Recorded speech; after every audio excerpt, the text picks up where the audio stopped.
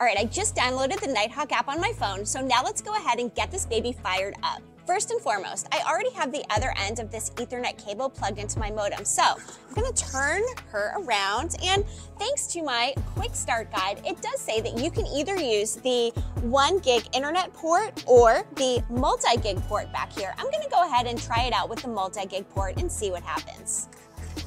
Right. Got that. And then of course, power, one of the most important things of all. And I did not touch upon this in my unboxing video, but I always appreciate a super thin AC adapter because oftentimes we have crowded power strips like today, so this will come in handy.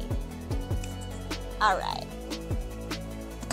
get it plugged in, do some cable management here, do it from the back, and voila, plugged in and ready to go. Let's turn her around so she can look as beautiful as she should and extend the antennas. All right. Oh, most important part, there is an on button in the back. Let's make sure that is actually on and it is. All right. Now from here, the light should be illuminating shortly. We'll wait for them to come on. And then from here, I will take it to the app where I will continue the setup.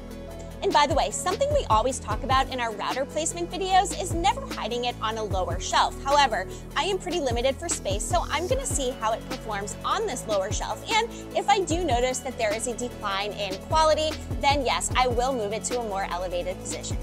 All right, and here we go. As you can see, these two front lights are now on, so we should be ready to get things finalized in the app. Let's go. Let's talk about getting the router started up in the app. First, we're going to connect to our router's Wi-Fi.